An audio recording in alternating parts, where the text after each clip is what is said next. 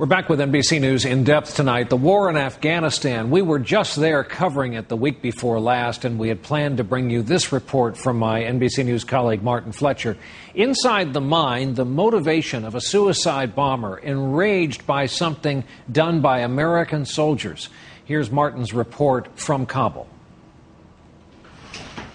This is the Afghan Secret Service detention center in Kabul.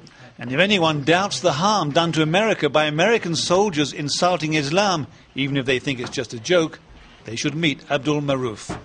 The Taliban showed me the video of an American soldier shooting at the Quran. I felt very bad, and right then I decided to be a suicide bomber.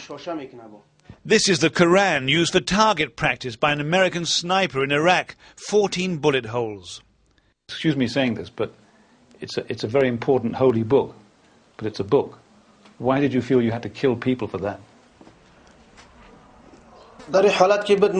I decided that I must show them that Islam is also very powerful.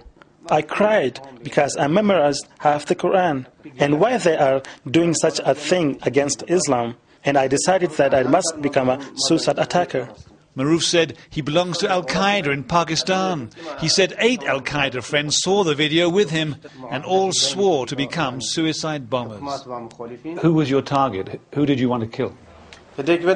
Foreigners, but my driver knew who was the target. The target, according to Afghani intelligence, American construction workers. The weapon, a car bomb with 600 pounds of explosives. Afghani agents arrested Maruf and his accomplices just before they got the bomb. What will happen to you now, do you think? I hope that they will let me work for the government as a policeman. Maruf left and in walked Hamza, his accomplice, in handcuffs. He claimed innocence.